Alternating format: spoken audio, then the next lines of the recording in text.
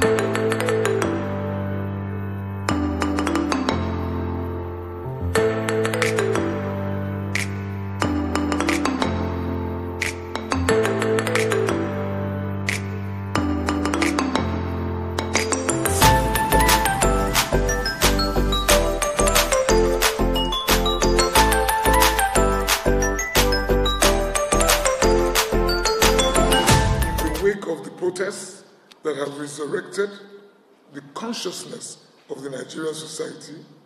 and indeed the international community to these very important and systemic issues. The NBA is convinced that the disbandment of SARS or any other unit by whatever name called, reposting or transferring officers of any disbanded unit and other knee jerk reactions will only scratch the surface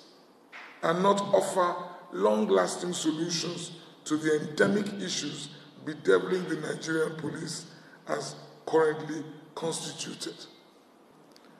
We call on governments at all levels to protect the rights of all citizens participating in the peaceful protests across the country and direct the security agencies to seize